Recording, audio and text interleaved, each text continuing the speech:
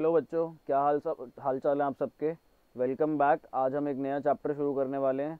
I hope अब मौज मस्ती चल रही होगी आज आपकी। अब छुट्टियाँ शुरू हो चुकी हैं कुछ बच्चों की, कुछ बच्चों की होने वाली हैं शुरू। अब दबा के अच्छे से पढ़ाई करेंगे। प्रेशर कोई है नहीं अभी एग्ज़ाम्स है नहीं। आराम से अच्छे से लर्न करते हुए चलेंगे और बढ़िया पढ़ाई करते हुए चलेंगे। शुरू करते हैं। आज का जो हमारा टॉपिक है वो क्या है? Accounting principles and standards accounting principles और एंड स्टैंडर्ड्स चैप्टर का नाम जो है ना, ये हर बुक में अलग अलग तरीके से दिया होगा बट अंदर का कंटेंट लगभग लगभग सिमिलर होगा सेम होगा। कुछ थोड़ा बहुत एक्स्ट्रा होगा, किसी बुक में थोड़ा बहुत लेस होगा बट जो मैं मेजर मेजर कवर करना है इस चैप्टर में, वो मैं आपको यहाँ पे करवाता हुआ चलूँगा। ठीक है तो अब इसके अंदर क्या होता है अकाउंटिंग प्रिंसिपल्स एंड स्टैंडर्ड्स में? देखो, कोई भी चीज़ करने के ना कुछ सेट ऑफ़ रूल्स होते हैं, हर घर के भी रूल्स होते हैं, और वो रूल्स कौन बनाता है? घर के अंदर रूल्स बनाते हैं पेरेंट्स और वहाँ पे कौन बनाता है? बाकी ऑर्गेनाइजेशन में जो भी उनकी टॉप लीडरशिप होती है टॉप ऑर्गेनाइजेशन होती हैं। तो अब यहाँ पर कौन है top leadership top organization India के अंदर कैसे चलेगा? क्या क्या स्टैंडर्ड्स होंगे क्या क्या रूल्स होंगे क्या क्या कॉन्सेप्ट होंगे क्या क्या कन्वेंशन होंगी? ये अब हम देखते हुए चलेंगे यहाँ पर। बेसिकली इंडिया के अंदर जो टॉप अथॉरिटीज़ लाया करती है ना, वो किसके पास करती हैं? एक तो I C I institute of chartered accountancy of India दूसरा किसके पास करती हैं? Ministry of ministry of commerce जो होता है हमारे पास, और भी ऐसी कुछ कुछ ऑर्गेनाइजेशन हैं जिसके थ्रू हम ये accounting set of convention principles and concept establish करते हैं। इनको हम कहते क्या हैं? जो हमारा प्रिंसिपल्स कॉन्सेप्ट और कन्वेंशन होते हैं, इनको ऑल टुगेदर मिलके क्या बन जाते हैं मेरे?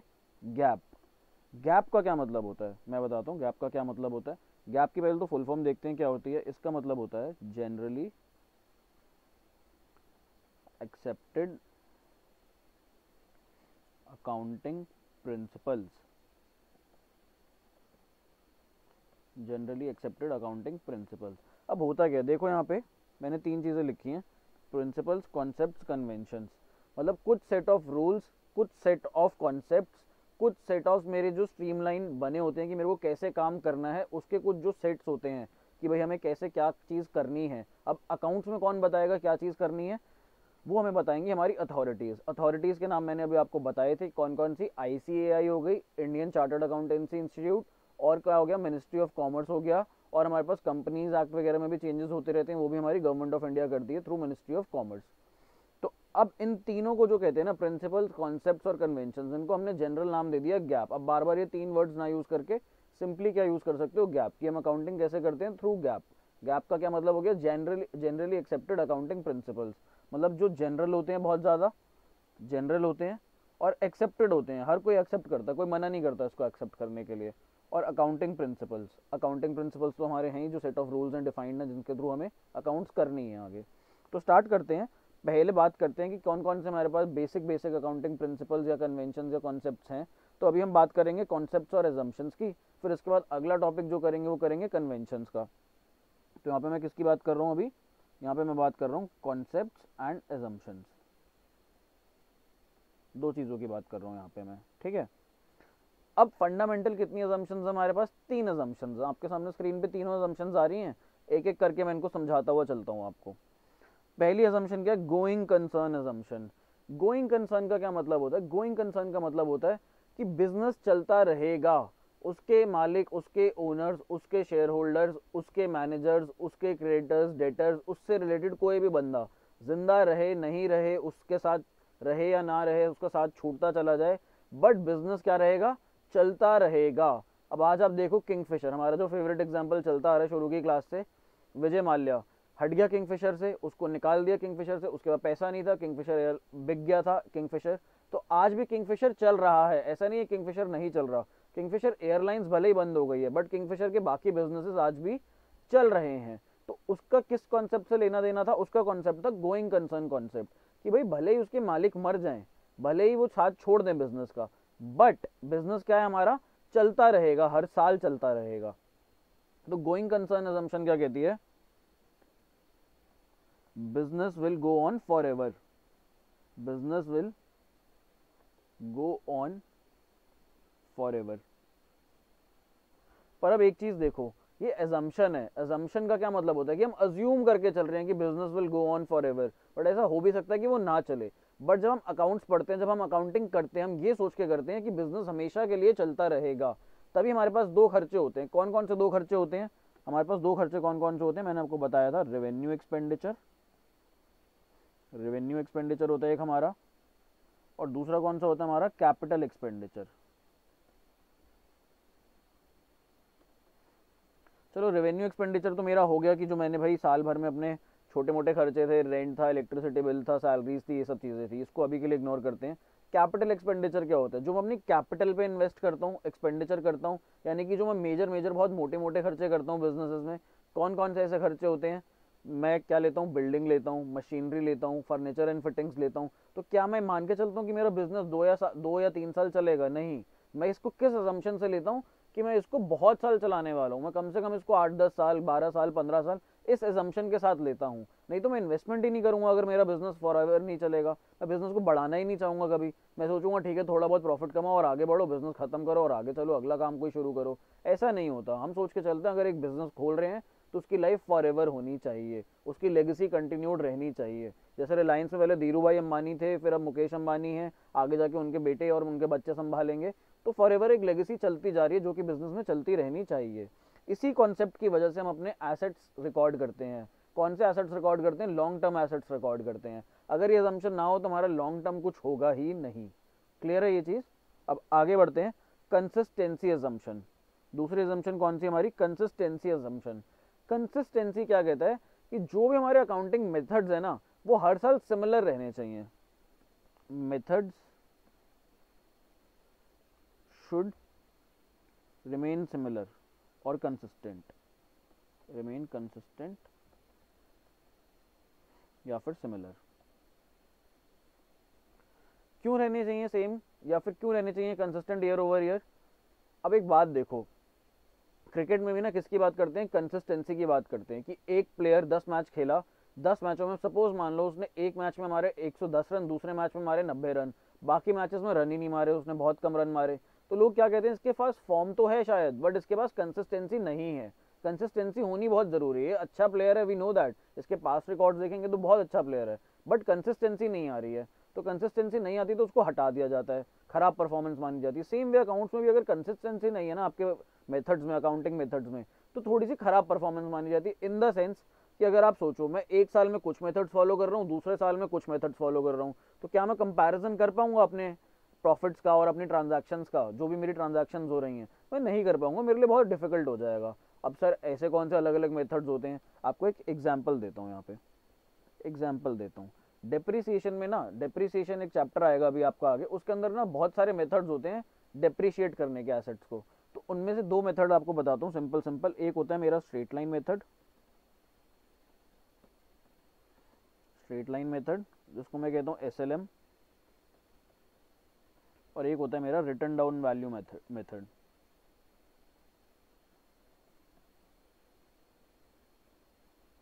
जिसको हम शॉर्ट फॉर्म में क्या कहते हैं? डब्ल्यू अब मान लो 2018 में मैं स्टेट लाइन मेथड के थ्रू डिप्रिसिएशन चार्ज कर रहा हूँ और मैं 2019 में आते ही कौन सा मेथड अडॉप्ट कर लेता हूँ? रिटर्न डाउन वैल्यू मेथड तो क्या मैं कंपैरिजन कर पाऊँगा? क्योंकि दोनों में वैल्यूज़ अलग अलग आती हैं, दोनों के प्रेमाइसेस अलग अलग हैं तो मैं कंपैरिजन ही नहीं कर पाऊँगा। अब जब मैं कंपैरिजन नहीं कर पा रहा तो मैं कैसे इंप्रूवमेंट लाऊँगा? सपोज़ मेरे को पता लगा कि मेरी पिछले साल सेल्स कुछ हुई थी, मान लो एक लाख हुई थी, इस साल मेरी सेल्स एक लाख बीस हज़ार हो रही है। लेकिन इन्वेंट्री जो मैंने वैल्यू करी थी, जो मैं सेल्स में गुड्स बेच रहा था, उनकी वैल्यूएशन लास्ट ईयर कुछ और थी, इस साल कुछ और है।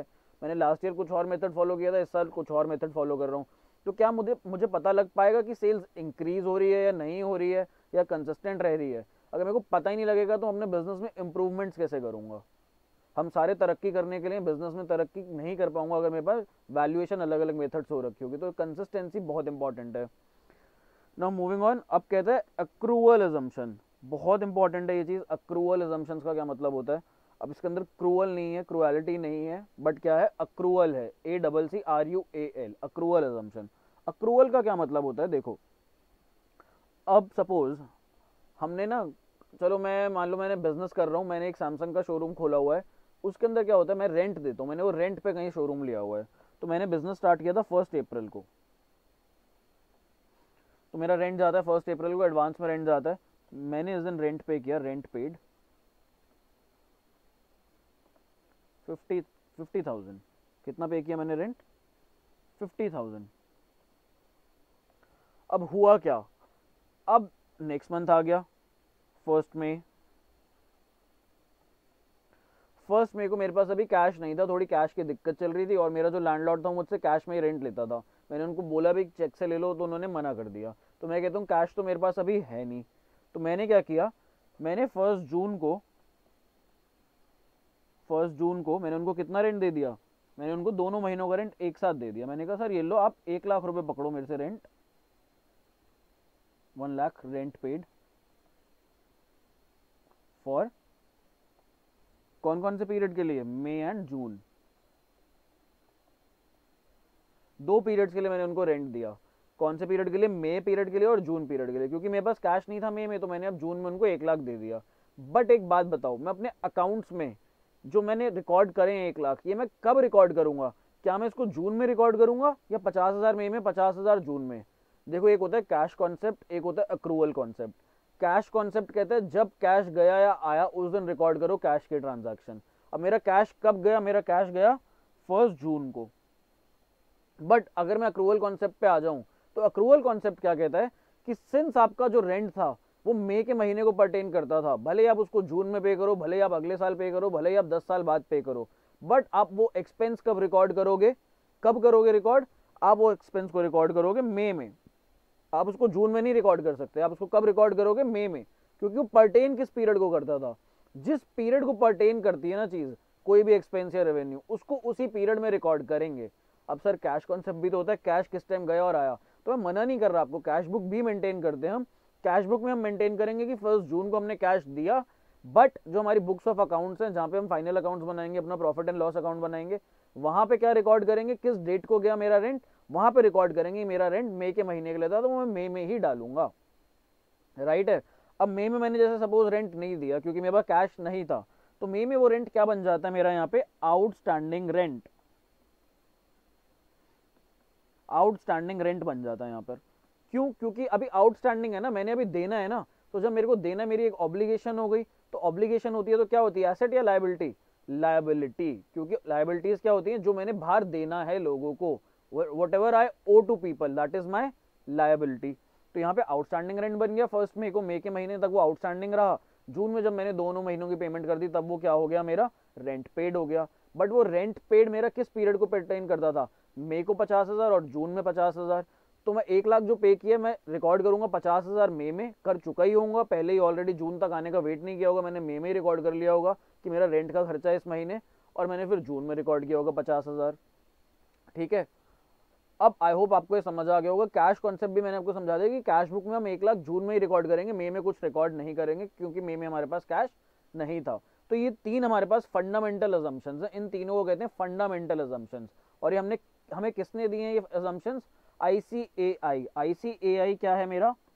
Institute of institute of chartered accountancy आप में से बहुत लोग आगे जाके चार्टर्ड अकाउंटेंट्स बनेंगे, करेंगे चार्टर्ड अकाउंटेंसी का course institute of chartered accountancy of India तो आपको इस इंस्टीट्यूट में जाना पड़ेगा अपने फॉर्म्स लेकर, अपने मार्कशीट्स लेकर और एडमिशन लेने के लिए रजिस्ट्रेशन के लिए.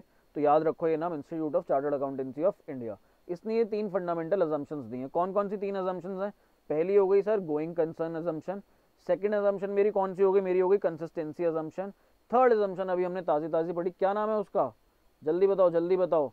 अक्रूअल अजम्पन ठीक है? अक्रूअल कॉन्सेप्ट अब आगे बढ़ते हैं कि फंडामेंटल अजम्पन हो गई। अब बाकी के अजम्पन देखते हैं कौन कौन सी है।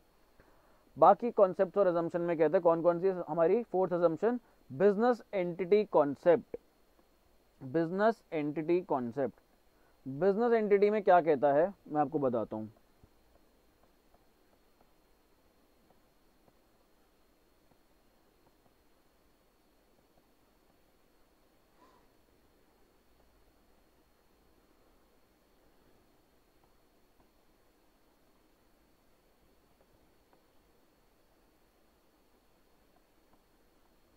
देखो, मैंने यहाँ पे ना दो ड्राइंग्स बनाई हैं। एक कौन है? एक ओनर है और दूसरा क्या है? बिज़नेस है। तो बिज़नेस एंटिटी क्या कहता है? कहता है ओनर को सेपरेट रखो और बिज़नेस को सेपरेट रखो। ये बात मैंने आपको पहले भी बताई है, मैंने शुरू में बताई थी कि अकाउंट्स पढ़ने से पहले हम क्या चीज़ सीखेंगे? कि हम अकाउंट्स हमेशा बिज़नेस के एंगल से करते हैं अकाउंट्स हमेशा बिज़नेस के हिसाब से बनते हैं। किसके हिसाब से नहीं बनते?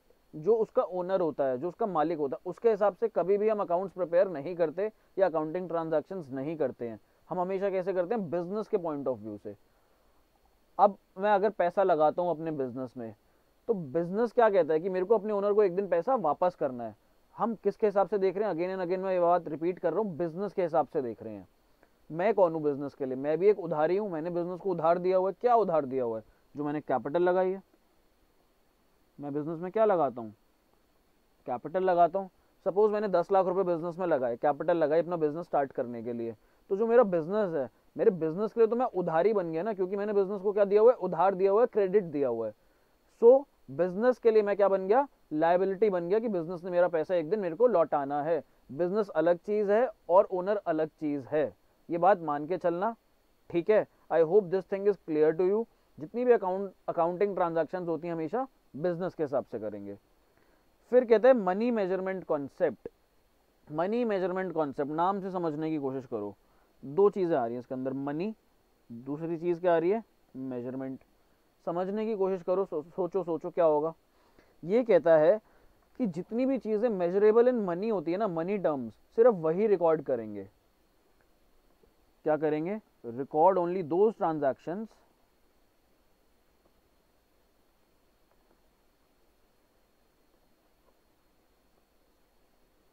which can be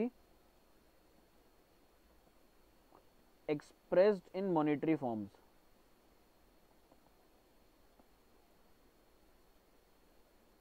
Monetary form अच्छा सर इसका कुछ एग्ज़ाम्पल दो। ठीक है बच्चों, मैं इसका एक एग्ज़ाम्पल देता हूँ आपको। अब आज मान के चलो एप्पल कंपनी है या फेसबुक कंपनी है। अब इसमें से फेसबुक से चलो, अगर मार्क जुकरबर्ग आज हट जाए, अपना बिज़नेस किसी और को बेच दे, क्या इम्पैक्ट आएगा फेसबुक पे? बिल्कुल आएगा, क्यों नहीं आएगा इम्पैक्ट वो इम्पैक्ट पॉजिटिव भी हो सकता है नेगेटिव भी हो सकता है, कुछ भी हो सकता है। तो क्या हम उस इम्पैक्ट को रिकॉर्ड करेंगे यहाँ पे अकाउंट्स में? भले ही उस समय बहुत ज़्यादा नुकसान हो रहा हो या बहुत ज़्यादा फ़ायदा हो रहा हो। जब फ़ायदा या नुकसान होगा तो उसको तो रिकॉर्ड करेंगे करेंगे। बट क्या जो हम फेसबुक का जो हमने ओनर था मार्क जुकरबर्ग अगर मैं उसको हटाने का जो प्रोसेस है, क्या उस प्रोसेस को मैं यहाँ पर रिकॉर्ड करूँगा या मैं उसको हटाया जो वो ट्रांजैक्शन रिकॉर्ड करूँगा कहीं पे भी? मैं नहीं करूँगा, क्योंकि वो मनी के टर्म्स में मेजर मैं कर ही नहीं सकता आज। आप कहोगे, सर, उसके जाने से एक लाख करोड़ का नुकसान हो सकता है, डेढ़ लाख करोड़ का नुकसान हो सकता है। तो मैं यही कह रहा हूँ कि हर कोई अलग अलग नुकसान बता रहा है। सारे अगर individual same set of principles follow करके एक नुकसान बताएँ तो मैं फिर भी रिकॉर्ड कर सकता था। बट इसका कोई रिकॉर्डिंग हो ही नहीं सकता, क्योंकि किसी को पता ही नहीं है कि मार्क जुकरबर्ग के जाने से कितना नुकसान होगा, कितने एंगल तक कितने हमारे पास इंटेंसिटी का नुकसान होगा हमारा। तो मैं बता ही नहीं सकता, हर कोई अलग अलग चीज़ें बोल रहा है।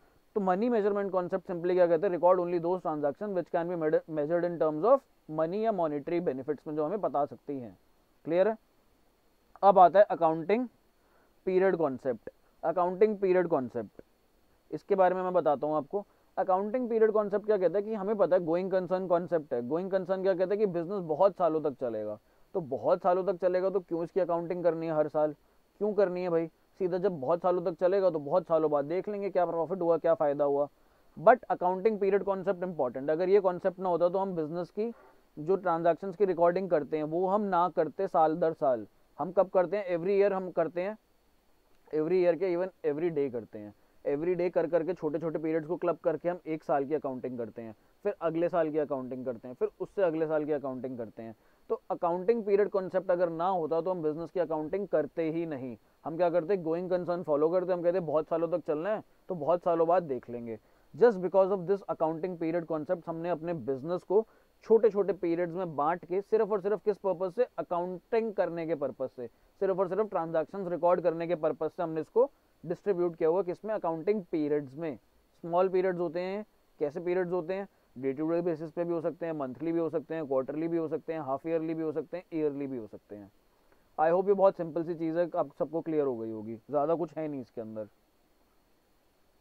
फिर कहते हैं कॉस्ट और हिस्टोरिकल कॉस्ट कॉन्सेप्ट अच्छा जी। सर, ये क्या चीज़ है हिस्टोरिकल कॉस्ट हिस्टोरिकल का एक मतलब तो समझ आ गया हिस्ट्री जो हिस्ट्री में हुआ। अब मैंने सपोज़ क्या किया, मैंने one ten two thousand and eleven मैंने इस दिन क्या खरीदी एक? मैंने खरीदी थी बिल्डिंग अच्छा सर, कितने की ली थी बिल्डिंग मैंने ली थी चलो ले लेते हैं चालीस लाख रुपए की। कितने की ली थी? फोर्टी लाख रुपीज़ की अब हुआ क्या? दिल्ली में रहता हूँ मैं, दिल्ली में मेट्रो बन रही है, मेरा बिज़नेस भी दिल्ली में है। अब मेरे बिज़नेस के पास से निकलने लग गई क्या मेट्रो? प्रोजेक्ट आया कि मेट्रो बनेगी? यहाँ पे मेट्रो बन गई। अब मेरी इस बिल्डिंग की वैल्यू कितनी हो जानी चाहिए आपके हिसाब से? सर, इस बिल्डिंग की वैल्यू हो जानी चाहिए फोर्टी फाइव लैक्स दूसरा बच्चा कहता है, नहीं सर, इसकी तो वैल्यू करो आप एट्टी लैक्स एक और आता है, वो कहता है, सर, इसकी वैल्यू रखो आप सेवेंटी लैक्स मैं कहता हूँ, भाई, किसकी सुनूँ? किसकी सुनूँ? फिर वैल्यूअर आता है, एक वैल्यूअर एक्सपर्ट्स जो होते हैं, जो वैल्यूएशन करते हैं, वो आके कहते हैं, सर, आप इसकी वैल्यू रखो पचास लाख. मैं कहता हूँ, ठीक है। फिर मैंने दूसरे वैल्यूअर से पूछा, दूसरा वैल्यूअर कहते हैं, सर, आप इसकी वैल्यू रखो कितनी? फिफ्टी टू लैक्स तो मैं कहता हूँ, भाई लोग, शांत हो जाओ, कोई बात नहीं, सबने ऐसे ऐसे वैल्यूज़ बताई हैं, हर कोई अलग अलग वैल्यू बता रहा है। कोई भी सेट ऑफ़ रूल्स या प्रिंसिपल्स नहीं है जिससे आप इन वैल्यूज़ पे आ रहे हो। हर किसी का अपना अपना कहना है कि, सर, इसकी इतनी वैल्यू होनी चाहिए, इसकी इतनी वैल्यू होनी चाहिए। जो वैल्यूएशन एक्सपर्ट है, वो भी कुछ एजम्पन यूज़ करके वैल्यू बता रहा है। बट उनमें भी मैं जितने वैल्यूअर एक्सपर्ट से पूछूँगा, हर कोई अलग अलग वैल्यू बताएगा, कोई भी सिमिलर या सेम वैल्यू नहीं बताएगा। मान लो अगर दो वैल्यूअर सेम वैल्यू भी बता रहे हैं तो तीसरा खड़ा हो जाएगा जो कि अलग वैल्यू बताएगा। तो हिस्टोरिकल कॉस्ट और कॉस्ट कॉन्सेप्ट क्या कहता है? कि आपकी जो बिल्डिंग है ना, या आपका कोई भी एसेट है, आप उसको कौन सी वैल्यू पे रिकॉर्ड करो? जितने पे आपने उसे खरीदा है। Record the asset at a price at which it was purchased भाई चालीस लाख की ली थी ना आपने बिल्डिंग, उसको चालीस लाख पे रिकॉर्ड करते हुए चलो, ठीक है? अब ऐसे मशीनरी होती हैं, बहुत सारी चीज़ें होती हैं तो मार्केट वैल्यू भले ही ऊपर नीचे हो, कहते हैं अभी मार्केट वैल्यू से कंसर्न नहीं है, हम रिकॉर्ड किन वैल्यूज़ पे करेंगे, जिस वैल्यू पे हमने खरीदा है। जिस वैल्यू पे हम खरीदते हैं, उसको क्या कहते हैं? कॉस्ट सिंस हमने पास्ट में कभी खरीदा होगा तो उसको क्या कह देंगे? Historical cost I hope this is clear to you अब आगे बढ़ते हैं। अगला टॉपिक अगला हमारे पास कॉन्सेप्ट कौन सा ड्यूअल एस्पेक्ट कॉन्सेप्ट अच्छा एक बात बताओ, अपनी बुक पे नाम पढ़ना ज़रा। नाम क्या दिया हुआ आपकी बुक का? देखो देखो कवर पेज देखो, सबसे पहला पेज देखो, जो कवर है, उसके ऊपर लिखा है, क्या लिखा है उसके ऊपर? Double entry book keeping double entry book keeping double entry book keeping का क्या मतलब हो गया? मैंने आपको बताया था आइडिया दिया था, हम आगे जब पढ़ेंगे ना जर्नल एंट्रीज वाला चैप्टर उसके अंदर आपको बहुत अच्छे से समझ में आ जाएगा, कोई डाउट ही नहीं रहेगा। ड्यूअल एस्पेक्ट का क्या मतलब होता है? हमारी एक ट्रांजैक्शन होती है डेबिट की और एक ट्रांजैक्शन होती है क्रेडिट की। तो जब हमारी कोई भी ट्रांजैक्शन होगी ना, उसके अंदर दो इफेक्ट्स आते हैं, डेबिट और क्रेडिट। हर ट्रांजैक्शन में डेबिट और क्रेडिट का इफ़ेक्ट आता है। कि जर्नल एंट्रीज वाले चैप्टर में बहुत अच्छे से समझाऊँगा मैं आपको। तो इसलिए कहता है कि कोई भी आप ट्रांजैक्शन करो ना, कोई भी नेम एनी ट्रांजैक्शन कोई भी, उसके क्या इफेक्ट्स होंगे? डुअल इफेक्ट्स होंगे। एक डेबिट का होगा, एक क्रेडिट का होगा। हमेशा हर ट्रांजैक्शन के दो इफेक्ट्स पड़ेंगे। अच्छा कोई भी ट्रांजैक्शन बोलो, कोई भी। चलो मैं यहाँ पे बोलता हूँ। मैं कहता हूँ कैश डिपॉजिटेड इन बैंक मेरे पास पचास हज़ार पड़े थे, मैंने बैंक में डिपॉजिट करा दिया। तो दो ट्रांजेक्शन सर इसके अंदर क्या हुई? मैं बताता हूँ ना क्या हुई। एक तो मेरा बैंक बैलेंस बढ़ गया और दूसरी ट्रांजेक्शन क्या हुई? मेरा कैश बैलेंस घट गया। तो मेरी ये दो ट्रांजेक्शन थी बैंक बैलेंस बढ़ना और कैश घटना। सर अच्छा हमने सेल्स करी। सेल्स करी। सेल्स के अंदर क्या डुअल एस्पेक्ट होगा?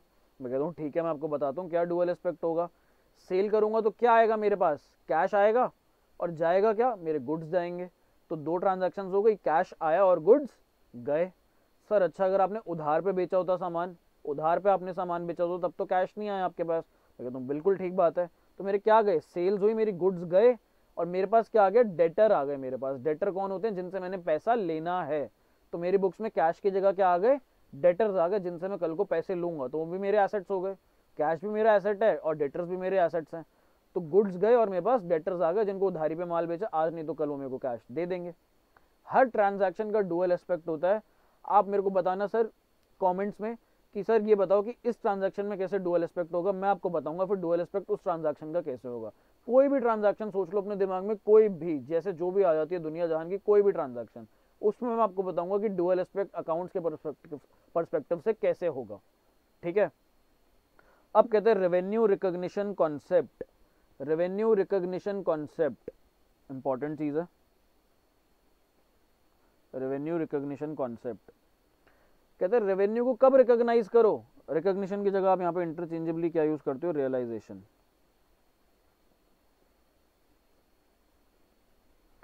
रेवेन्यू रिकॉग्निशन या रेवेन्यू रियलाइजेशन कॉन्सेप्ट इसका क्या मतलब हुआ?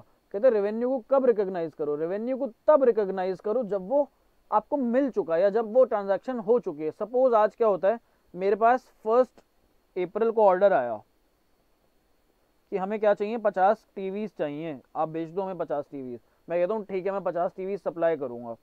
मैंने पचास टीवीज कब सप्लाई करे? मैंने सप्लाई करे फिफ्टीन फोर को। फिफ्टीन फोर को मैंने सेल कर दी। सेल्स हो गई मेरी पचास टीवीज की। ठीक है? ऑर्डर आया था फ़र्स्ट फोर को सेल हुई है फिफ्टीन फोर को। तो मैं कब रिकॉग्नाइज करूँगा? सेल का क्या मतलब होता है कि मैंने डिस्पैच कर दी, मैंने ओनरशिप भी ट्रांसफ़र कर दी। अभी तक ओनरशिप किसके पास थी? मेरे पास थी, मेरे नाम पे थे वो गुड्स अब मैंने आगे थर्ड पार्टी को, जो मेरा कस्टमर है, मैंने उसको ट्रांसफ़र कर दिए गुड्स तो मेरी सेल किस दिन रिकॉग्नाइज होगी? फ़र्स्ट अप्रैल को होगी या फिफ्टीन अप्रैल को होगी? फिफ्टीन अप्रैल को होगी मेरी सेल्स रिकॉग्नाइज मेरी फ़र्स्ट अप्रैल को नहीं होगी, क्योंकि फ़र्स्ट अप्रैल को तो ऑर्डर आया था। सपोज़ मैंने मान लो दस अप्रैल को मैं माना होता ऑर्डर एक्सेप्ट करने के लिए। मैं दस अप्रैल को मान गया कि मैं ऑर्डर एक्सेप्ट कर लूँगा ऑर्डर एक्सेप्टेड बट अभी भी मैं ऑर्डर एक्सेप्ट कर रहा हूँ ना, मैं ट्रांसफ़र ऑफ़ ओनरशिप तो नहीं कर रहा हूँ। ओनरशिप मैं किस दिन ट्रांसफ़र कर रहा हूँ? मैं कर रहा हूँ फिफ्टीन अप्रैल को। तो कहते हैं रेवेन्यू तब रियलाइज़ है तब रिकॉग्नाइज करो जब वो हो चुका है। सिर्फ़ बातों बातों में नहीं होगा कि आपने फ़ोन किया कि माल भेज दो, मैंने कहा, ठीक है, मैं भेज रहा हूँ तो मैंने रेवेन्यू रिकॉग्नाइज कर लिया। नहीं। जब तक मैं ट्रांसफ़र नहीं करूँगा, तब तक मैं उसको रियलाइज़ नहीं करूँगा, तब तक मैं उसको रिकॉग्नाइज भी नहीं करूँगा। ये रियलाइजेशन और रिकॉग्निशन इंटरचेंजेबली यूज़ होते हैं, इनका मीनिंग सेम होता है यहाँ पर। अगला कॉन्सेप्ट देखते हैं matching concept matching concept matching concept क्या कहता है मुझे? मैचिंग कॉन्सेप्ट कहता है आपकी इनकम या आपको जिस चीज़ के लिए फंड मिला है ना, जिस चीज़ के लिए आपको पैसा मिला है तो अपने एक्सपेंसेस भी आप उसी में से निकालो। कैसे? मैं आपको बताता हूँ। अब क्या हुआ? मैं एक एनपीओ चलाता था। मैं क्या चलाता था? एक एनपीओ चलाता था। एनपीओ किस चीज़ का था? मेरी थी स्पोर्ट्स अकेडमी। मेरी क्या थी? स्पोर्ट्स अकेडमी थी। स्पोर्ट्स अकेडमी में क्या हुआ? किसी बंदे ने आया, कोई बंदा आके बोला कि मैं स्पोर्ट्स के लिए कुछ करना चाहता हूँ तो आप बताओ मैं कैसे मदद करूँ आपकी? तो मैंने कहा कि हमारा मैच हो रहा है, क्रिकेट का टूर्नामेंट चल रहा है टूर्नामेंट खत्म होने के बाद ना हमें प्राइजेस देने हैं। तो आप वो प्राइजेस के लिए ट्रॉफीज वगैरह के लिए पैसे दे दो। तो उसने मुझे पैसे दे दिए। कितने पैसे दिए? उसने मुझे दिए ten thousand. Received for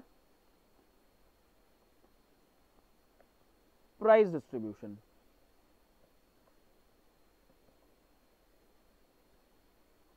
अब कहते हैं, जो ये टेन थाउज़ेंड आपको पैसा मिला है ना, अब आप जितने भी एक्सपेंसेस करोगे प्राइस डिस्ट्रीब्यूशन के तो इनमें से माइनस करना आप वो खर्चे। सपोज़ मेरे ट्रॉफीज में लगे पाँच हज़ार सर्टिफिकेट्स पे लगे दो हज़ार। बस इतना ही खर्चा था। मेरे पास बैलेंस कितना रह गया यहाँ पे? तीन हज़ार। तो कहते हैं, तीन हज़ार भी आपके स्पेशल फंड के पड़े रहने चाहिए। आपने मैच कर लिया अपने रेवेन्यू और एक्सपेंसेस को। कैसे मैच कर लिया? दस हज़ार मिला था प्राइस डिस्ट्रीब्यूशन के लिए। इसमें से मैंने पाँच हज़ार किसके दे दिए? जो हमने ट्रॉफीज दी, और 2000 किसके दे दिए? सर्टिफिकेट्स के। ये किसके हैं? ट्रॉफीज के। और ये किसके हैं? सर्टिफिकेट्स के। ये मेरी क्या है? रिमेनिंग अमाउंट रिमेनिंग फंड तो कहता है कि मैच करते हुए चलो अपने रेवेन्यू को और अपने एक्सपेंसेस को। अब तीन हज़ार को आप किसी और चीज़ के लिए यूज़ नहीं कर सकते हो। जब आप प्राइस डिस्ट्रीब्यूट करोगे या जब आप सर्टिफिकेट्स दोगे, आप जब कोई ऐसी कोई सेरेमनी करोगे, तीन हज़ार वहीं पर ही यूज़ करना। समझ में आ रही है ये चीज़? तो कहते हैं मैच करते हुए चलो अपने रेवेन्यूज को और अपने एक्सपेंसेस को। जिस चीज़ के लिए इनकम आई है या जिस चीज़ से इनकम हो रही है, उसी के खर्चे उसमें से माइनस करते हुए चलो। अब ऑब्जेक्टिविटी कॉन्सेप्ट हमारे लास्ट कॉन्सेप्ट है, बहुत सिंपल कॉन्सेप्ट है ऑब्जेक्टिविटी क्या कहता है? कहता है हर इंसान का ना अपना कोई ऑब्जेक्टिव होता है। बट जब इंसान अकाउंटिंग स्टेटमेंट्स प्रिपेयर कर रहा होता है ना तो अपने ऑब्जेक्टिव को उसको साइड में रखना चाहिए और उसको कैसे करना चाहिए? True and fair true and fair accounting करनी चाहिए उसे। कैसी अकाउंटिंग करनी चाहिए? ट्रू एंड फेयर भाई उसके अपने पर्सनल बायसेस हटा के अपने पर्सनल ऑब्जेक्टिव्स हटा करके उसको कैसे करनी चाहिए? ट्रू एंड फेयर एक ऑनेस्ट इंसान की तरह उसे सारी अकाउंटिंग करनी चाहिए। वो कोई भी चीज़ हाइड ना करे और वो कोई भी चीज़ एक्स्ट्रा शो ना करे, जिससे कि क्या हो? नुकसान हो। किसको नुकसान होगा? स्टेक होल्डर्स जो होते हैं बिज़नेस के। स्टेक होल्डर्स कौन कौन होते हैं? Management owners creditors debtors shareholders जितने भी लोग बिज़नेस से एसोसिएटेड होते हैं, जिनका भी बिज़नेस में इंटरेस्ट होता है, वो लोग इफ़ेक्ट हो जाते हैं इस चीज़ से। तो इसलिए हमें कैसे करनी चाहिए? अकाउंटिंग हमेशा ट्रू एंड फेयर कुछ भी गलत फैक्ट्स या कुछ भी गलत अकाउंटिंग ट्रीटमेंट हमें नहीं करना चाहिए, कोई भी स्टेटमेंट हाइड नहीं करनी चाहिए, अपने पर्सनल बायसेस नहीं लाने चाहिए। तो हमारे ये टोटल 11 अकाउंटिंग अजम्पन्स या कॉन्सेप्ट हैं। शुरू से एक बार नाम पढ़ते हुए चलते हैं, देखते हैं कौन कौन से करे थे। तीन हमारी फंडामेंटल अजम्पन्स हैं, कौन कौन सी गोइंग कंसर्न अजम्पन हो गई कि बिज़नेस हमेशा चलता रहना चाहिए। कंसिस्टेंसी अजम्पन हो गई कि methods all across the years same रहने चाहिए। बट हम इसमें रिजिड नहीं हो जाते कि हर साल सेम रखेंगे। कई बार अगर ज़रूरत पड़े कि भाई लगता है कि अगर दूसरा मेथड अडॉप्ट करता हूँ और मेरी अकाउंटिंग अच्छी हो जाएगी, उससे मैं अपनी ज़्यादा इन्फॉर्मेशन डिस्क्लोज कर पाऊँगा। या मेरे को लॉ ने बोला कि अकाउंटिंग मेथड चेंज करो तो मैं कर सकता हूँ। ज़रूरी नहीं है कि साल दर साल हर बार सेम रहेगी बट हाँ अगर ज़रूरत है तभी चेंज करूँगा, वरना नहीं करूँगा। ठीक है? जैसे हम लोग घरों में रहते हैं तो जब घर कब शिफ्ट करते हैं? जब बहुत ज़्यादा ज़रूरत लगती है कि घर शिफ्ट करना है। हर साल थोड़ी घर शिफ्ट करता रहता हूँ तो वैसे इसको रिलेट करते हुए चलो। पहली गोइंग कंसर्न दूसरी हमने कंसिस्टेंसी करी थर्ड हमने करी अक्रूवल अजम्पन अक्रूवल अजम्पन क्या होता है? जिस महीने का खर्चा होता है या जिस महीने की इनकम होती है, उसी में ही रिकॉर्ड करेंगे, आगे पीछे नहीं करेंगे। फिर आ जाती है बिज़नेस एंटिटी कि भाई आप अलग हो, आपका बिज़नेस अलग है, दोनों को मिक्स मत करो अकाउंट्स किसके हिसाब से प्रिपेयर करोगे? बिज़नेस के हिसाब से प्रिपेयर करोगे। अगला मनी मेज़रमेंट कॉन्सेप्ट कहते हैं जितनी भी चीज़ों को मनी मनी के टर्म्स में मेजर कर सकते हैं, सिर्फ़ वही वाली ट्रांजैक्शंस रिकॉर्ड करो नॉन मॉनिटरी ट्रांजैक्शंस रिकॉर्ड मत करो। ज़रूरत नहीं है हमें उसकी। फिर क्या कहते हैं अकाउंटिंग पीरियड कॉन्सेप्ट कहते हैं, अगर ये असम्पशन नहीं होती तो business will go on forever going concern concept रहता है। अगर ये असम्पशन नहीं होगी तो हमारे पीरियड्स एक एक साल या क्वार्टर वाइज या हाफ़ ईयर वाइज वो नहीं बन पाएँगे और हम अकाउंटिंग नहीं कर पाएँगे। अगली एजम्पन क्या कहते हैं कॉस्ट या historical cost concept market value पे रिकॉर्ड मत करो एसेट्स को किस पे रिकॉर्ड करो, जितने का खरीदा उतने पे करो। फिर ड्यूअल एस्पेक्ट कॉन्सेप्ट मतलब कि हर एंट्री के दो साइड्स होंगी, एक डेबिट साइड होगी और एक क्रेडिट साइड होगी। इसके बारे में जर्नल एंट्रीज वाले चैप्टर में बहुत अच्छे से बताऊँगा। और हाँ इसमें मेरे को कॉमेंट्स में बताने वाले हो कि सर, ये मेरे दिमाग में ट्रांजैक्शन आई, इसके बारे में आप बताओ कि इसकी डेबिट साइड क्या होगी या क्रेडिट साइड क्या होगी इसमें ड्यूअल एस्पेक्ट क्या होगा, दो ट्रांजेक्शन क्या होंगी इसके अंदर। फिर revenue recognition concept revenue recognition concept क्या कहता है हमें? कि जब रेवेन्यू हमारा रियलाइज़ होगा, उसी टाइम हम इसको रिकॉर्ड करेंगे, उससे पहले या बाद में नहीं करेंगे। फिर कहते हैं मैचिंग कॉन्सेप्ट भाई, जिस चीज़ के लिए इनकम है, उसी से खर्चा निकालो उसका। फिर लास्ट कहता है ऑब्जेक्टिविटी की ट्रू एंड फेयर रखो अकाउंट्स को और पर्सनल बायस से दूर रखो पर्सनल ऑब्जेक्टिव से दूर रखो। आई होप ये ग्यारह आपको जो कॉन्सेप्ट हैं एजम्पन से क्लियर होंगी। पहली तीन फंडामेंटल हैं, बाकी की रिमेनिंग है। तो आप इनको अच्छे से कर लेना, कोई डाउट्स हो तो मुझसे पूछ लेना।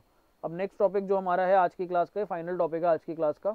इसके बाद एक आईएफआरएस के बारे में बहुत छोटा सा नोट है, वो मैं आपको बता दूँगा, उसको बहुत डिटेल में नहीं पढ़ना है। थ्योरी है उसके अंदर थोड़ी सी। अकाउंटिंग कन्वेंशन की बात करता है।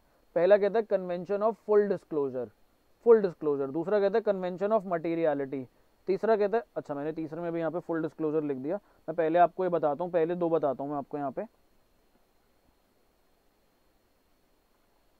मैं आपको पहले दो बताता हूँ यहाँ पर। पहले दो में क्या कह रहा है? Convention of full disclosure full disclosure में क्या कहते हैं? फुल डिस्क्लोजर में कह रहा है कि मेरे को क्या करना है फुल डिस्क्लोजर के अंदर? जितनी भी मेरे पास इंफॉर्मेशन है जितनी भी इंफॉर्मेशन है मेरे पास, जिससे मेरे अकाउंट्स इफ़ेक्ट हो सकते हैं, वो सारी की सारी बता दो। जी हाँ सारी की सारी। फुली डिस्क्लोज कर दो। फुली डिस्क्लोज कर दो सारी की सारी चीज़ें। अब क्या क्या डिस्क्लोज कर सकता हूँ मैं फुली अगर मैं कोई मेथड चेंज करना चाह रहा हूँ अगले साल, अभी नहीं कर रहा हूँ। कब कर रहा हूँ? Change of methods change of accounting methods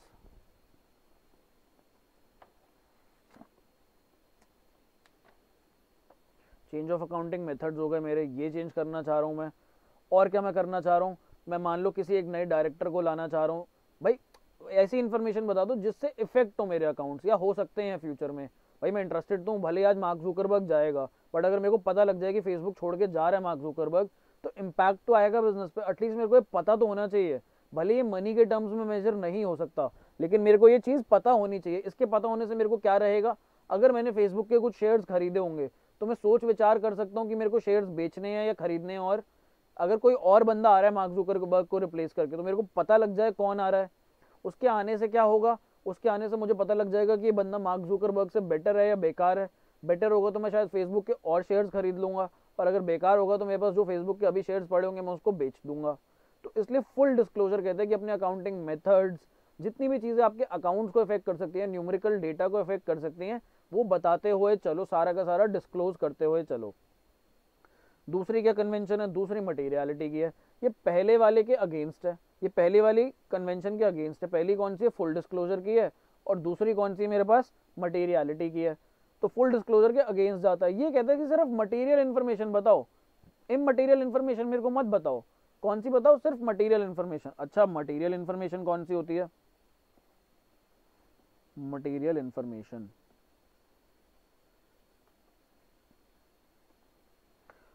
अच्छा एक बात बताओ, अगर आज मेरे को पता लग जाए कि टाटा मोटर्स ने दस हज़ार रुपए का उसका कोई एम्प्लॉय था, उसने चोरी करी है तो क्या मेरे लिए मटेरियल इन्फॉर्मेशन है कि टाटा मोटर्स का एक एम्प्लॉय दस हज़ार रुपये निकाल के ले गया? मैं कहूँगा, मेरे लिए कुछ भी इन्फॉर्मेशन नहीं है। कुछ भी इन्फॉर्मेशन नहीं है। क्यों नहीं है सर कुछ भी इन्फॉर्मेशन मैं बताता हूँ, क्यों नहीं है? टाटा मोटर्स करोड़ों की कंपनी है, करोड़ों की, लाखों करोड़ों, अरबों की कंपनी है। अगर उसमें से कोई दस हज़ार निकाल लेगा तो इससे मेरे शेयर्स पे या मेरे किसी भी चीज़ पे इम्पैक्ट नहीं आएगा। सर क्यों नहीं आएगा? क्योंकि बहुत छोटी सी ट्रांजेक्शन है। इतने बड़े, अगर मैं समुद्र में से अगर एक बूंद निकाल लूँ ना तो उससे समुद्र को कोई फ़र्क नहीं पड़ेगा। तो ये वैसी इंफॉर्मेशन है। तो कहते हैं, इस इंफॉर्मेशन को दो ही मत, ये इंफॉर्मेशन क्या है? ये इंफॉर्मेशन है इमटेरियल खाली कौन सी इंफॉर्मेशन दो? मटेरियल इंफॉर्मेशन दो। कौन सी इंफॉर्मेशन दो? मटेरियल इंफॉर्मेशन दो। अब मटेरियल इंफॉर्मेशन कौन सी होती है? विजय माल्या 9000 करोड़ लेके विदेश भाग गया। क्या ये मेरे लिए मटेरियल इन्फॉर्मेशन है? बिल्कुल है, सर। नौ हज़ार करोड़ लेके भागा नौ हज़ार रुपए लेके नहीं भागा। नौ हज़ार करोड़ रुपए लेके भागा है। तो मैं कहता हूँ, बिल्कुल मटेरियल इन्फॉर्मेशन है। इससे मेरे अकाउंट्स इम्पैक्ट होंगे। तो हम जब भी ऑडिट करते हैं, उसके अंदर हम मटेरियलिटी निकालते हैं कि इतनी अमाउंट से ऊपर वाली इन्फॉर्मेशन मेरे लिए मटेरियल होगी और इस अमाउंट से नीचे वाली इन्फॉर्मेशन मेरे लिए इमटेरियल होगी। आई होप ये क्लियर है आपको। फुल डिस्क्लोजर और मटेरियलिटी ये दोनों एक दूसरे के थोड़ा सा अगेंस्ट चलते हैं। थोड़ा सा अगेंस्ट है एक दूसरे के बट हमें दोनों कन्वेंशन फॉलो करनी है। हमारा लास्ट कौन सा कन्वेंशन ऑफ़ कंजर्वेटिज्म सर, ये क्या होता है कंजर्वेटिज्म कंजर्वेटिज्म का मतलब मैं बताता हूँ। देखो, पहले ऊपर क्या कह रहा था? फुल डिस्क्लोजर कि भाई, सारे इन्फॉर्मेशन बताते हुए चलो। कुछ भी चेंज हो रहा है, बताते हुए चलो। कौन सी इन्फॉर्मेशन जो मेरे को इम्पैक्ट करेगी? फुल डिस्क्लोजर में कौन सी? Which will impact the business. And and what? Numerical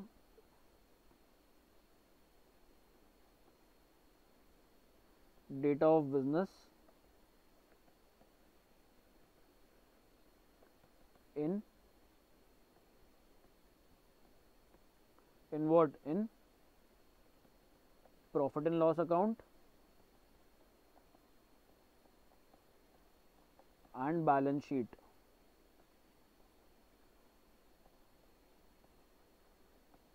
ठीक है? जो भी मेरे प्रॉफिट एंड लॉस अकाउंट और बैलेंस शीट के फिगर्स को आगे जाके इम्पैक्ट कर सकती है इन्फॉर्मेशन वो मैं बताता हुआ चलूँगा। फिर कहते हैं कन्वेंशन ऑफ़ मटेरियलिटी कहते हैं सिर्फ़ मटेरियल इन्फॉर्मेशन बताओ, सिर्फ़ यही वाली मटेरियल इन्फॉर्मेशन बताओ और कौन सी इन्फॉर्मेशन मत बताओ? इम मटेरियल इन्फॉर्मेशन को इमटेरियल इन्फॉर्मेशन को मत बताओ। भाई, अगर किसी ने टाटा मोटर्स में एक गले में से दस हज़ार रुपये चुरा लिए तो मेरे को मत बताओ वो, क्योंकि वो एक बहुत छोटी इन्फॉर्मेशन है, वो मेरे अकाउंट्स को इम्पैक्ट नहीं करेगी, इतना ज़्यादा इम्पैक्ट नहीं करेगी, फ़र्क पड़ेगा ही नहीं। फिर कह देते हैं कन्वेंशन ऑफ़ कंजर्वेटिज्म कहता है, जितने भी आपके फ्यूचर एक्सपेंसेस होने हैं, उनको पहले ही एंटिसिपेट करते हुए चलो। कहता है anticipate anticipate all losses and expenses but don't anticipate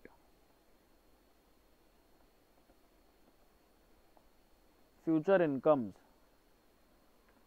don't anticipate future incomes कहते हैं खर्चे जितने तुम्हारे होने वाले हैं नियर फ्यूचर में एंटिसिपेट मतलब उसका अंदाज़ा लगाते हुए चलो और उसको रिकॉर्ड करते हुए चलो जैसे मैंने सामान बेचा था एक लाख रुपए का, मैंने सेल करी थी, एक लाख रुपए के गुड्स बेचे थे।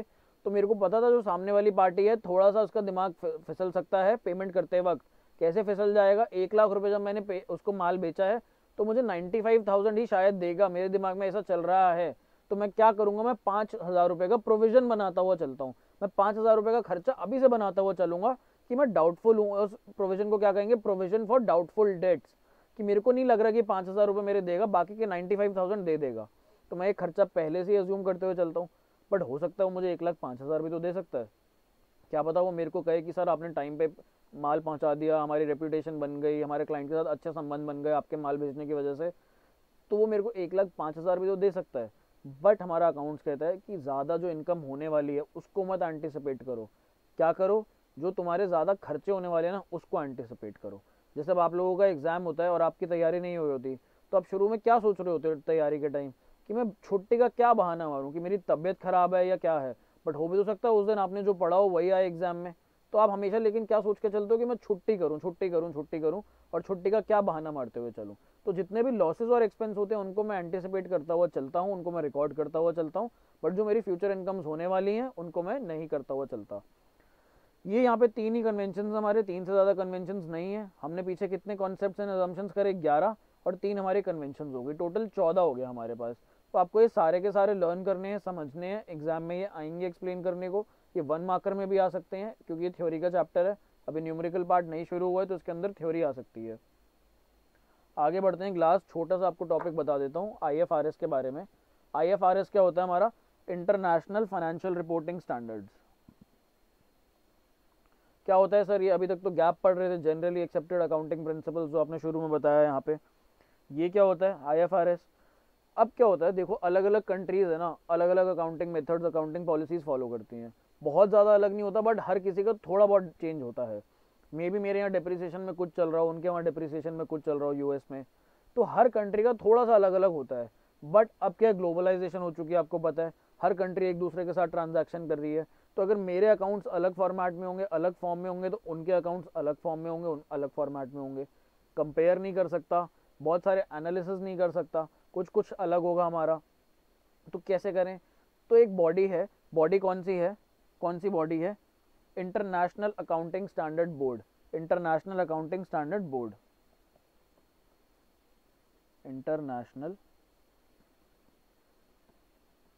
accounting standard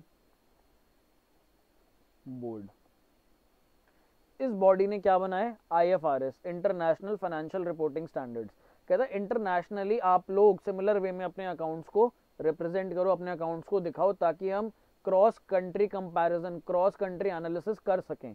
ठीक है? तो ये पहले कौन होता, पहले क्या होता था? पहले इंटरनेशनल अकाउंटिंग स्टैंडर्ड होता था। इसको पहले क्या कहते थे? इंटरनेशनल अकाउंटिंग स्टैंडर्ड इसको किसने रिप्लेस कर लिया? इसको रिप्लेस कर लिया आईएफआरएस ने.